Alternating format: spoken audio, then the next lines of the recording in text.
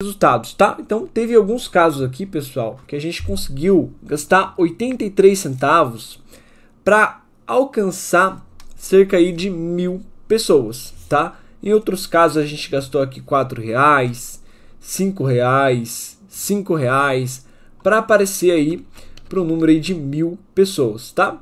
Ou seja, em alguns casos a gente gastou aqui 250 reais e apareceu para 50 mil pessoas, né? Isso aqui já segmentado para um determinado público-alvo no que diz respeito à idade. Acho que gênero, acho que não, mas principalmente a questão da idade, tá?